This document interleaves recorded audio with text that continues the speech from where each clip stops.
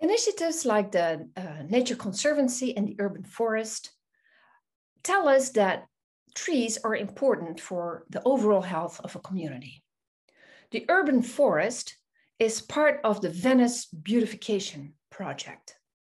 And these projects create awareness to a large group of people how important trees are for uh, the overall, for our health as humans.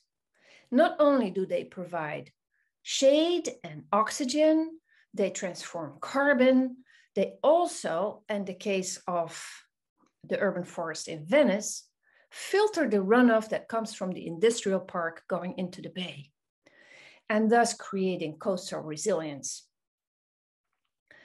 It's along the canal, this area is along the canal, the urban forest is, and it's not only a, a green space, but it's also a buffer zone. The speaker that comes behind, after me, Greg Vine, will talk a lot more about the details of this project and how it came about and where they want to go into the future. I'm saying there's much more to it than meets the eye. Nature is there to be admired. Most of you know I'm a painter. And I came to this area through the Manasota Beach Club. I'm going to take you with me looking at nature through the eyes of a painter because it needs to be seen as we artists see it. I came um, to the Manasota Beach Club, as I said, when I was living in Miami. And what I was doing for a living at that time was creating murals. And the murals that I was creating is a special kind of mural. And I want to share this with you. I need to do a screen share, so bear with me. And we're here. And we're here. I was creating murals like this. It's called a trompe-l'œil. It means, and it comes from the French verb se trompe, meaning mistake, making a mistake. The eye make, makes a mistake. There is something that that's not there. It's an illusion. And to create open space, to create a view, basically, you use landscape and depth to create this illusion. Now, this was really a dirt pit. Before I came, that was the walls were mildewed, there were garbage cans, there was dirt, dirt on the floor. It was really bad. And this is what you can do with paint. And remember this because the Venice Beautification Project is also about murals, and I would like to combine the two. I came to the Manasota Beach Club um, in 1999, as I said, to study nature because because of those murals, it has to be very, very realistically painted. Otherwise, the eye would not believe it. Then it would immediately see, oh, that's a painting. But by studying nature and being in nature, being at the Manasota Beach Club, I completely fell in love with nature. And I realized how important it is to lift all our spirits. It's not only me, but all our spirits. If the sun hits a leaf or a tree in a certain way, then that makes me happy. That lifts my spirit. And that's the art of landscape painting. The art of landscape painting is actually to uh, convey the, the majesty of the ever changing earth upon a never changing piece of paper or canvas. And it brings order, like the order of architecture, into a painting. And this, the, the, the negative space is like the silence between the notes of music and all that you can see in a landscape painting. And if I can explain it a little bit better later, I definitely will. I studied nature and I brought it back to Miami to work on my murals. And that's how I fell in love with it. Every every summers, summer, I would come here with a stack of books and magazines and study how to mix colors, how to create depth, uh, how to do all this, because I didn't know. During my studies of all these methods and ways of doing things, I also found two very important painters that came here before me, 100 years before me. And I guess you know who this is. This is Winslow Homer. Winslow Homer loved Florida. Winslow Homer is a famous American painter who was born in Boston at on uh, 1836 and died in uh, 1904. He was very meticulous and strong. It looks like there's a lot of simplicity with the picture, with the people around it, but all it is is about human struggle against the forces of the unrelentless universe. Winslow Homer traveled uh, to many places, but if I show this, everybody knows who I'm whom I'm talking about.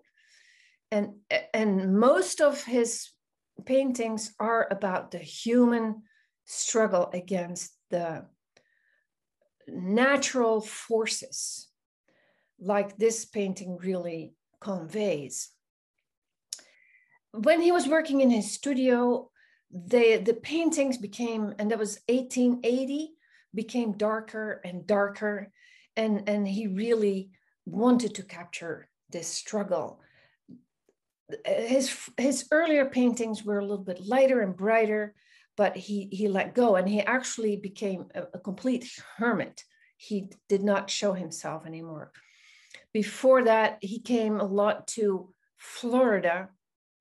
And here's this one where you can see the bright colors the the the love for the environment that Winslow Homer had, and he loved to hang out here.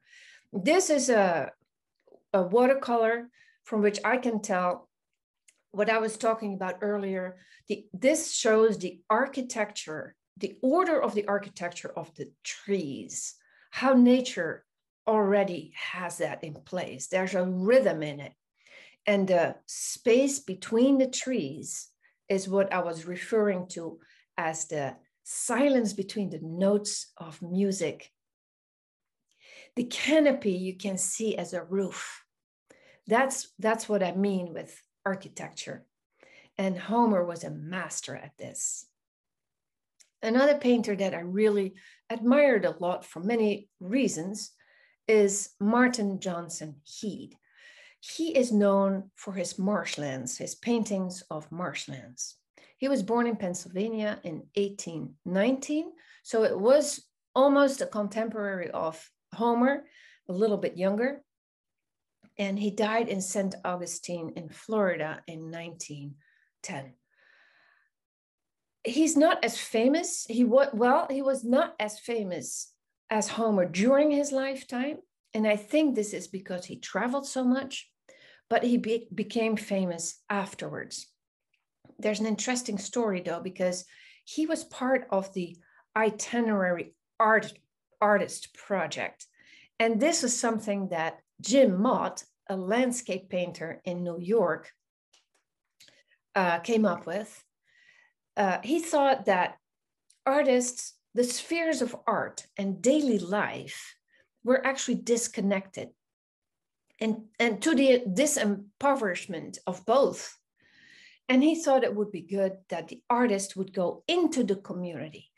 And he had a whole list of hosts throughout the United States where artists could travel to by car and then stay two to five days at one spot, paint there, bring their um, artistic practice to the place, and then leave one or two paintings behind as a form of payment.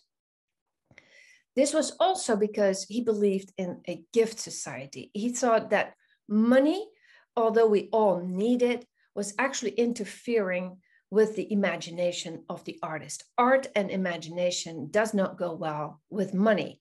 That was his convic- conviction.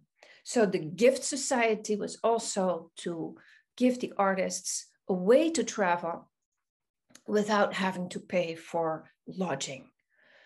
They still have to pay for travel. It still probably was pretty expensive, but this was what he came up with. And Martin Johnson Heade loved this.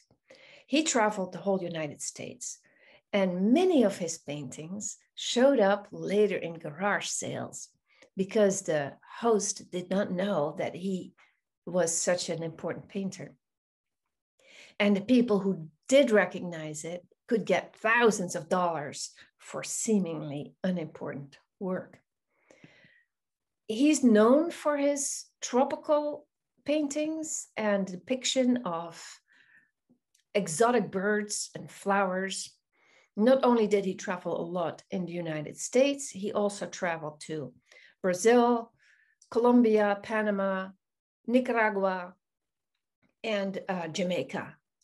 And he he had this atmospheric, dreamlike, romantic idea of the tropics.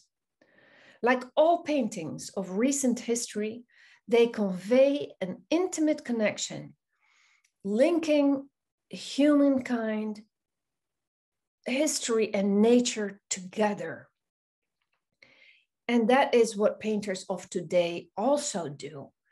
It is important that those three are in balance. And now we're going to the day of today, where Bill Farnsworth is painting at the Manasota Beach Club or the Manasota Key, and also is linking humankind, history, and nature together.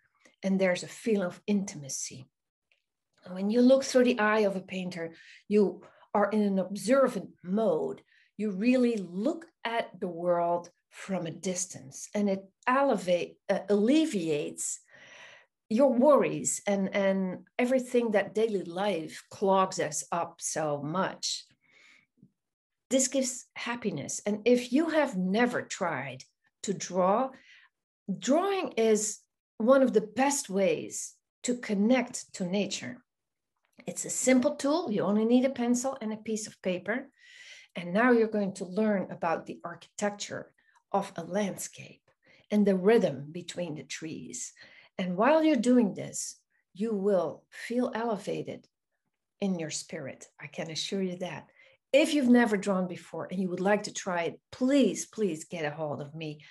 I have great tools to help you to get into it and connect or reconnect to nature. This is a drawing also at the Manasota Beach Club. Actually, it's a composition of five different scenes and this was the, at the base of a really big painting that people wanted to have so they could take a piece of the Manasota Beach Club with them. Um, the urban forest, as I said before, is a part of the Venice beautification project, and murals are a part of it as well. And I would love to see them both linked because instead of breaking building that buildings down that are in the way that are ugly or are in the way or we like to see more landscape that is what you could create with paint. And on a critical note i have to say that instead of bulldozing huge amounts of trees i really would urge anybody who is in power to do this to not recreate the forest later because to recreate the forest takes a long, long time. I'm not against buildings. I love buildings, but why not integrate both from the start? Trees take a long time to grow. You cannot build those in a day. And to integrate them both, for me, that is what uh, the health of a beautification of an, a, a city or a village or whatnot means. Here, I want to show you this picture. The, the tree that you see casting a shadow makes this whole corner actually very alive. It comes alive by the changing sun.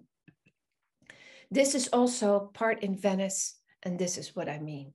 Beauty is there, it's integrated, and it's alive. Now I'm going to give the microphone to Greg Vine, who's going to tell you all the details about the urban forest and where it is. Greg, take it away.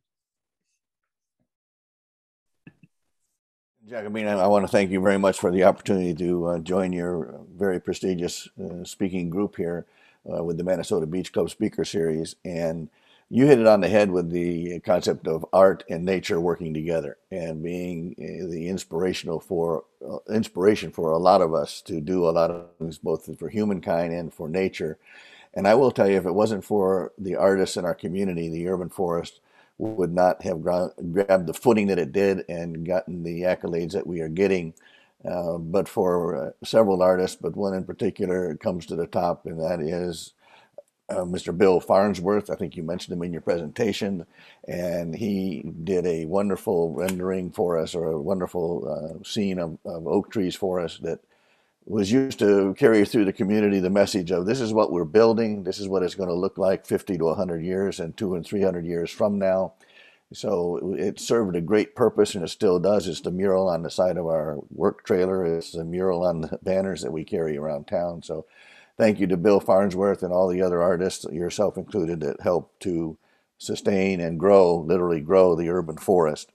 Uh, we have a group of plein air artists that come to our, our forest twice a year now, and they're documenting as we go and, and painting scenes. And it's so interesting to watch how a dozen or more individuals will paint certainly more than a dozen different vignettes of the same scene. So everybody's eye and everybody's personality and everybody's emotion grab something different out of nature. So that makes me proud to be providing this wonderful resource for the community of Venice.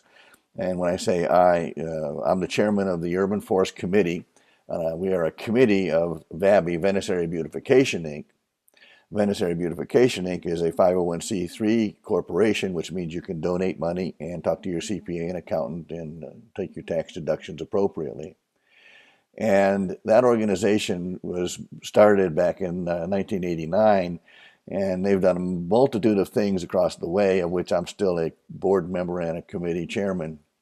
But if you just take a look at this, I'm not going to give you the bullet points because there's a couple of them that I want to talk about. But we realized a few years ago that it was out of date, and we had uh, our graphics people update it. And I'm just now looking, and I'm seeing we're already at 2019. We're already two years out of date again, so we need to update it yet more, which you're going to see some uh, video footage and so on in a moment. But what VABI is doing for the community, and what's led us to the urban forest, was VABI's claim to fame, if you will, is we created the Venetian Waterway Park. That's the trail along the Intercoastal Waterway, both on the island side and on the mainland side along the Intercoastal Waterway. And it's about 10 miles long, five miles on each side. And it's been a raging success. Took us many, many years to raise the funds and complete, about $5.1 million. And today it's hundreds of thousands of users annually on that trail. So we're pretty proud of that. But we also do a lot of other things. People come to Venice and they go downtown and what a beautiful town it is and how, how nice it is to live here and all the beautiful comments we get from people. But if you see the hanging baskets and you see the pottery with all the flowers and the foliage in them, and you see the little vignettes here and there around town of little gardens and lots of plantings, and that is the Bloom team led by Mr. Bob Benner in our community. And it's self-evident. You see, it's just beautiful and it's gorgeous. And, and that's a committee of VABI, the Bloom team. Uh, the other is, around town you'll see a number of murals, not all murals, but the predominance of the murals around town are uh, created and overseen by the Public Art Committee uh, with VABI. We have uh, an art committee that does a lot of work. They do statuary around town. You see the three muses, the lions, and different uh, things around the community. That, ladies and gentlemen, is VABI, and that's a committee of VABI, public art.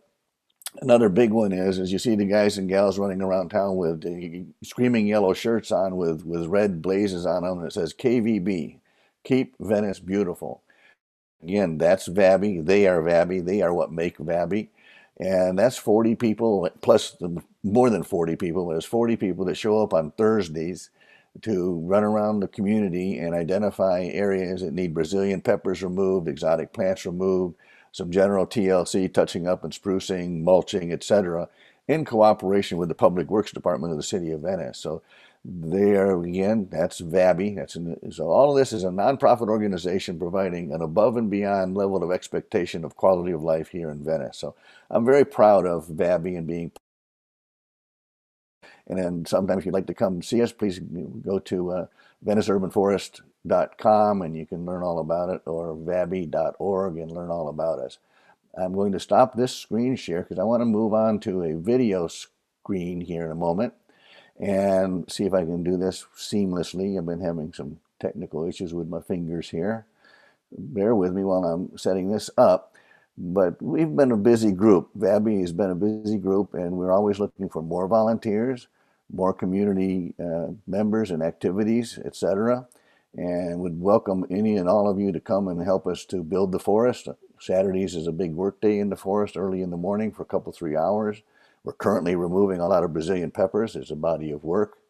And we're also always looking for, and you'll never hear me stop asking for money. So let me get this video running, and this is going to show you where the forest is. And let's hope it does. And I'm hoping the sound is coming through.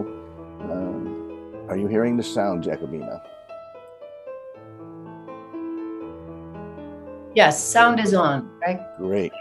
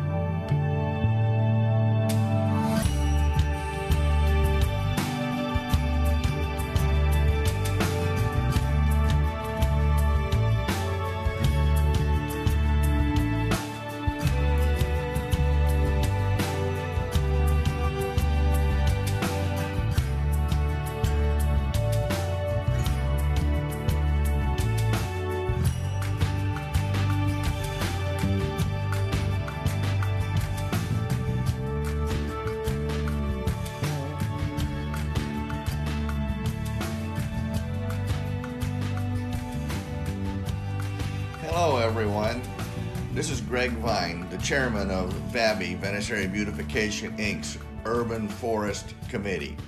And we're the people bringing you the new urban forest here in Venice, Florida, a wonderful place to live, work, and play.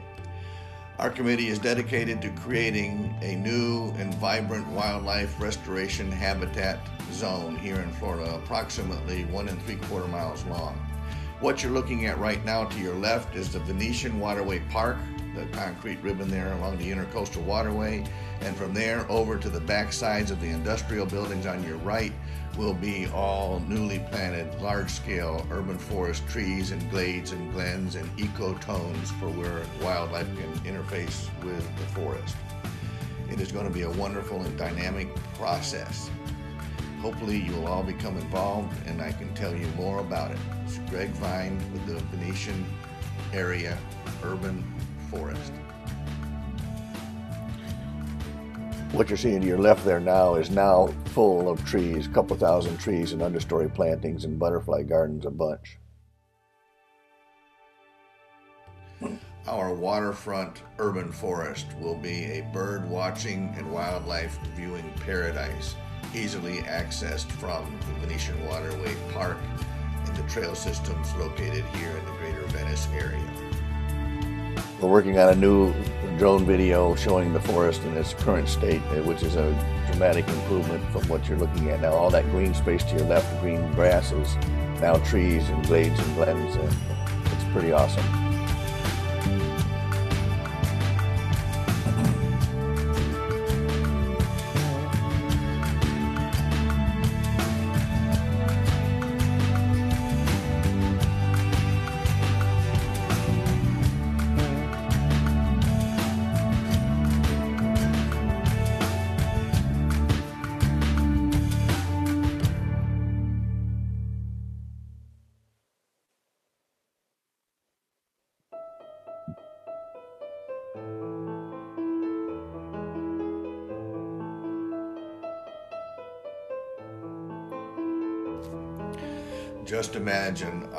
Grandchildren walking their grandchildren in the forests that we're planting today.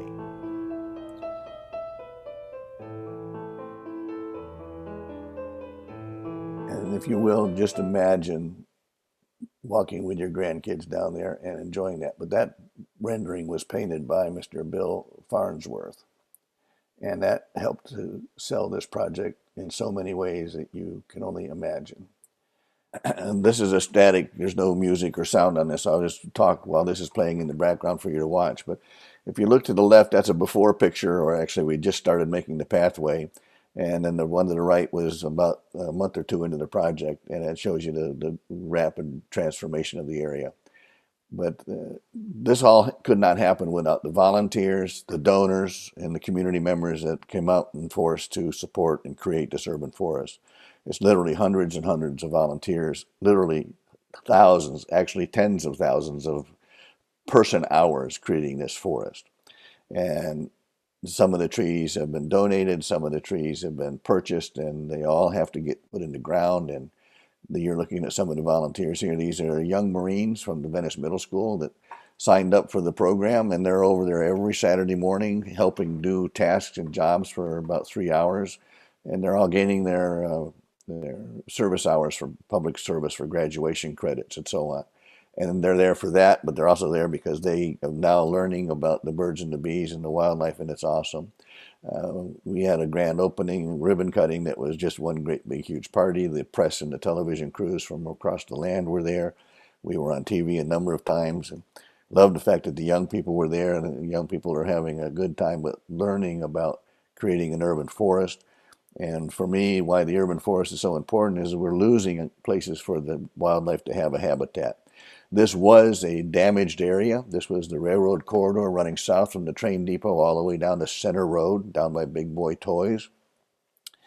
And, you know, it was stripped bare. It was a railroad corridor and it became completely overgrown and invaded with invasive species of uh, Brazilian pepper trees, lead trees, and many other things, all of which have to be removed and taken away, which is what we do all the time there, getting it cleaned up and ready for planting of new native trees.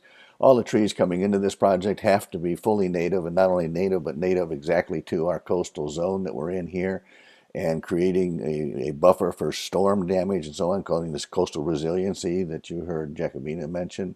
This is our board of directors and you may recognize some of the folks here. This is the urban forest committee of VABI so VABI is a pretty robust organization and we're always constantly raising money and looking for volunteers. So you can always go to uh, VeniceUrbanForest.com and please click on the donate button. If nothing else, give us a few bucks or give us lots of bucks, whatever you're. This is a butterfly garden that was in the beginning. Now, when I have a new updated version of this, you'll see the butterflies just in mass here by the by the thousands. Uh, this last couple of months, we've had literally many thousands of the white sulfur butterflies doing their thing they have uh, moved in, and uh, Gulf fritillary here on your left uh, are moving in, and the birds and the bees are moving in. The Audubon Society did a baseline count uh, back when we started this whole project, and they had about 12 species of birds that they could count in that barren land.